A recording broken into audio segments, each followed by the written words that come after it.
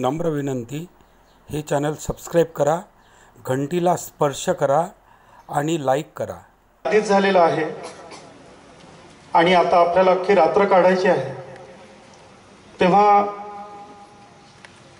आजच्या कार्यक्रमाचं प्रास्ताविक करण्याकरिता मी विलासराव मांडकर महाराजांना विनंती करतो की त्यांनी आजच्या या सोहळ्याचं काय आयोजनाचा उद्देश काय? कारण संगीत माणसाला हसवतं संगीत माणसाला गोठवतं संगीत माणसाला रडवतं. संगीत माणसाला समृद्ध करतं संगीत माणसाला अंधारातून प्रकाशाकडे नेतं.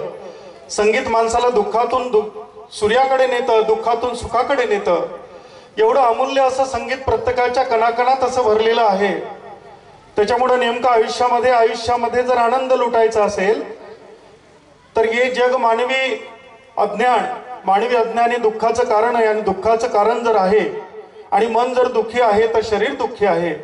आणि म्हणून शरीराला दुरुस्त करण्यासाठी अनेक मेडिकल्स उपलब्ध आहेत अनेक डॉक्टर्स उपलब्ध आहेत.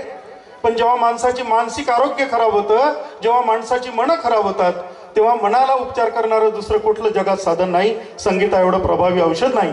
आणि म्हणून संगीताची पर्वणी या माऊलीच्या मंडळीनं या ठिकाणी जी लोणीवासियांना दाखल करून दिली आहे खरोखर हे पुण्यकर्म आहे. देव मुंगसाजी माऊली देवांची इच्छा होती की माझ्या दरबारामध्ये ही स्पर्धा व्हावी. हे निसर्गांना मान्य होतं.